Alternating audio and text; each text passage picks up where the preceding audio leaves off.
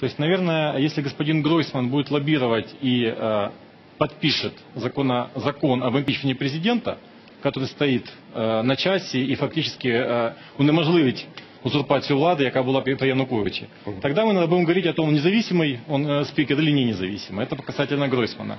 Алексей сказал о том, что нужно смотреть вширь и искать так называемых э, экспатов, которые сюда приедут. Давайте смотреть вглубь.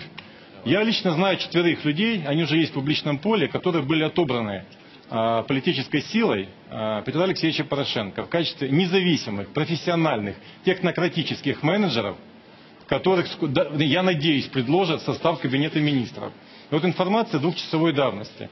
Человек, который фактически а, готов возглавить одно из министерств, получил следующую установку. Вы не член никакой из партий. Где же ваша партийная ответственность? Так вопрос о том, мы, мы хотим экспатов. О ком мы Это о ком идет говорим? речь, простите, Если Александр? мы говорим не конкретно, то очень сложно обсуждать. Александр, да. ком- Ильич, я не имею права говорить, кто это. Один из тех, кто уже упоминался на «Украинской правде» в той четверке технократических э, менеджеров высокого ранга с западным образованием. То есть по партийной квоте не идет. по партийной квоте его сейчас не... э,